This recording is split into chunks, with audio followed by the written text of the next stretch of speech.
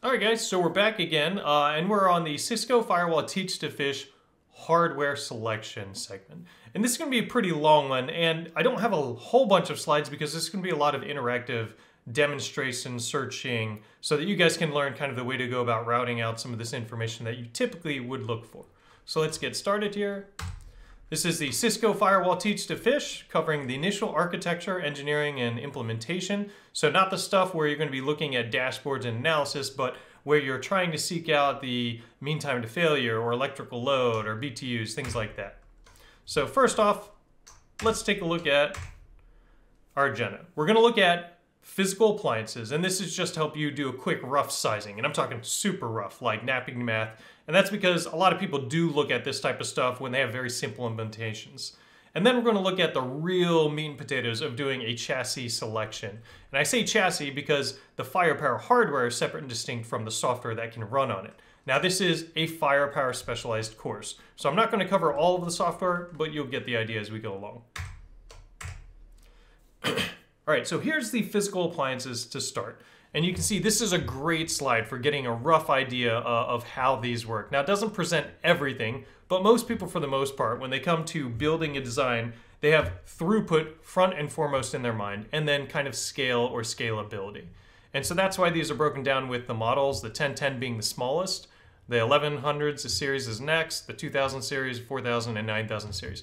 And then we've got kind of a redheaded stepchild up here, the ISA 3000. So these are progressively in order of higher throughput, which typically signifies a larger enterprise or footprint to support. And then this guy up here is because he is a very specialized unit. And these are specialized units for people that are in areas that are uh, harder to get to or higher temperature operations areas. Uh, they have things like conformal coatings and additional environmental certifications tied to them. Now, they run more than just firepower, but this is the universal industrial security appliance, ISA, that Cisco provides to run a multitude of software that needs to be run inside of these adverse environments.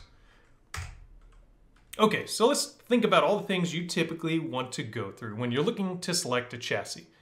Uh, obviously, throughput is typically there. You want to consider some additional features like scale. How many devices or hosts are going to be talking to this? there's a certain metric called connections per second, uh, where you're not only looking at how much throughput can go through it, but what if you have like a billion phones with very little traffic, but there's thousands or tens or hundreds of thousands of connections being initiated, or some sort of bot script running in a data center that needs to reach out and establish millions of connections per second. That's the type of scaling you want to look at. You also want to look at how easy it is, is it to grow later. You may want to deploy a cluster now and then have the ability to easily insert a new one without interrupting or re-engineering your deployment. And there is some selections you can make that will help your uh, equipment scale better. So for a 1000 or 2000 series, there's not a whole lot of scale or scaling to be had there. But when you get to the 4000 or 9000 series, you see some interesting technologies such as clustering or multi-instance or multi-instance and clustering, inter and intra-chassis clustering. These are, this is clustering between many logical devices on one box or clustering between two physical device or more physical devices and or two or more logical devices across many uh, firewalls across many devices. You want to look at things like electrical load or amperage when you're planning out data center capacities.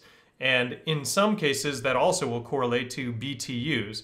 Now, Cisco doesn't explicitly list BTU output. They used to, I don't know why they switched, but it's simply calculated based on the wattage times 3.41. And you might think, well, why don't they just list BTUs? And it really has a lot to do with load. Part of this whole series is to kind of demystify some of these erroneous uh, assumptions that are made where it can cause you to be upset or have consternation with the way this data is presented the amperage draw, how much electricity is being used on a device, has a lot to do with what it's doing in that very moment. You have a discrete set of CPU, memory, and disk space, and that CPU and memory is the most intensive part that draws power, generates heat. That heat causes the fans to kick on and run. But the idea is the more you have it doing, the more amperage draw, the more BTU. So it's not very simple to just say this box produces this many BTUs. It is a dynamic instrument based on how much you're having it uh, run. Now we do list the maximum wattage, amperage, on the data sheets. So you can calculate the maximum BTU capacity. And that stuff is found in things like the data sheet. And what I've listed over here is the easiest way to kind of feed yourself or find this information.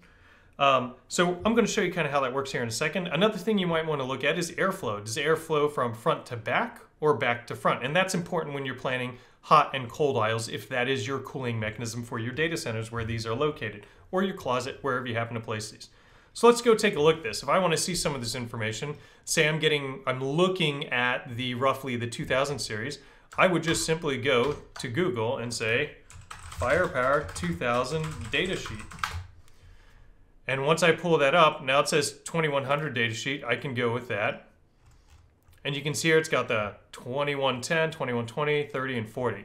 And you get a list here of a lot of the good information. Now they give you, a, generally speaking, the maximum throughput for the firewall when it's running uh, as a firewall with either NGFW, that's your firepower threat defense code inspecting traffic, or IPS, that's your firepower threat defense code inspecting traffic but out of line, not in line. So you've got it sitting over somewhere with a span or a tap feeding it traffic. It is not actively in the data path, but it can detect and alert you that something malicious has crossed your network. It lists generally the interfaces, how many of them there are, and what type of interface they are. So RJ45 copper and or SFPs, at which point you get to choose what type of interface you want it to be, whether it's optical or copper, and the speeds generally speaking. Now, SFP only goes up to 100 meg, SFP Plus can go up to 10 gig, and then you got some fancy 10 gig SFP Plus on higher end models. All things you may want to look at. Now, dissecting this data sheet, you get a per model estimated throughput. And you have to understand these numbers presented here, and they caveat it well, is per picture perfect 1024 byte average packet size. It doesn't mean in this test every packet is 1024 bytes, but it means generally speaking, across all of the packets sent through in the test set to generate this data, it averaged 1024. And that's important because that's not normal internet traffic. That's not normal traffic in any enterprise for the most part. But we have to have a standard with which to test against. And most vendors will test with fat packets so that they can show on their datasheet they have a huge throughput number.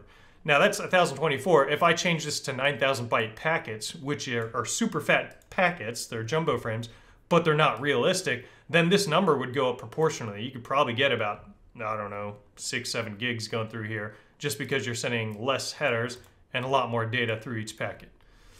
Um, once you start inspecting, then it becomes another game. You start inspecting, you're sending everything through Snort, then your throughput typically will decrease. Now, these have been designed in firepower threat defense so that even if you're not inspecting, there's cores reserved for inspection, so your throughput doesn't decrease when you're comparing non-inspection traffic to inspection traffic, IPS. All right, here's where all the data is, bottom line. Lots of information you might want to look at like IPsec VPN throughput, how many peers it can have, whether it's managed locally or remotely, all the things that are interesting to you. So let's go back to our presentation real quick. We've gone through all of these as considerations. And you notice I have a Firepower hardware installation guide and Firepower EOL EOS uh, search here. That's because when you're engineering a design, you don't want to adopt a hardware platform that is going to go end of life this year or next year, or has already been announced end of life and reaching end of life next year. So let's get some bottom line things out of the way. End of life, end of support. If Cisco has announced end of life for a device, you have five years before that device falls off a cliff and has reached end of support. End of life and end of support are separate and discrete for hardware versus software. So software may go end of life two years after it's created because you're on 6.4 and now we're moving to 6.5 or 6.6 or 6.7, but hardware lasts a pretty long time. so the separate and distinct. EOL on the Firepower 9300 chassis does not mean end of life for Firepower code, bottom line. You want to look at things like form factor, right? If we look at the Firepower 1K, we're going to go back two slides, it's a half rack unit. It's actually less than that, but essentially it cannot be rack mounted unless you buy a special adapter kit or a shelf. Might be important to you, might not. The whole point of this chassis is to throw it on somebody's desk essentially. And there's one unique caveat to the hardware, and software support that only applies to the 1010. It is the only device that has native built-in switch ports. Every other firepower chassis, you cannot do switching on the switch ports. You cannot do switching on the interfaces. The 1010 you can, and that's because it's made for small office, home office type stuff. All right, that aside, the 1000 series is one rack unit, 2000 series is one rack unit, but it's a longer chassis. 4000 series is a one rack unit, also slightly longer chassis. The 9300 series is a three rack unit chassis, and it is heavy, extremely heavy. So keep that in mind. Um, the ISA, on the other hand, is obviously not even a half rack unit. It's a very odd square cube shape. You want to look at the dimensions. How can you do that? Pull up the hardware sheet on it. How do you do that? You go Google with these terms. It's fantastic. All right, temperature. You might want to be interested in running something at 102 degrees. Well, that's when you'd be looking at the ISA uh, 3000 industrial security appliance. Um, things like conformal coating to stop like water and electric interference on the circuit board. And we've covered the switch ports being unique to the Firepower 1K. So if we look at this again, some things you might want to look at. I showed you the data sheet. If I'm looking, hey, what's the Firepower 2110 EOL? That's all I have to do, search for end of life, end of sale notice. Now, there is no 2100 or 2110 EOL. It has not happened yet, so I didn't find anything. But there are some chassis that have, and I'm just going to use an older chassis, not the Firepower, because those aren't EOL yet. Let's say ASA 5505 EOL. You can see this is the 5505, again the hardware, not the software. I click it, and it'll tell me, hey, it went end of life February 24, 2017. What I can infer from that is five years later, so 2022 is going to be end of support. And that's when the hardware, you cannot service it anymore, get updates for the hardware, or fix anything. It's not going to be covered under any warranties or any service contracts. It is dead. The next time it fails, you've got to throw it in a dumpster. So you want to move away from these before they hit that point, or at least plan your migration so that you're moving when this date hits. All right, so why did I list the installation guide? So there's some very rare things that you might want to look at that for some reason are not in the normal uh, data sheets. And that's things like certain certifications. So if you want a hardware chassis that's been FIPS 140-2 certified, many of the times you have to come to the hardware installation guide. And it's in a little chart somewhere. Where is it? Maybe I have to find it over here. Ah, right here. You go to Security Standard Certifications. You know this is a Firepower 21 series. It's in the overview for the installation guide. Common criteria, FIPS, DoD, DODIN, USG 6. All of those are listed here. Now, there's also some other good stuff here if you're wondering how many CPUs there are and what clock speed they're running at, how much RAM and how many sticks of RAM, what types of chips are being used for the NPU, i.e. the encryption chips. Uh, all of that stuff's here. Really good information, really useful for you. So that's it. I think that's about it for all of the chassis selection criteria. For the most part, again, this is a 10,000 foot overview. Uh, and we'll go ahead and move on. Have a good one, guys.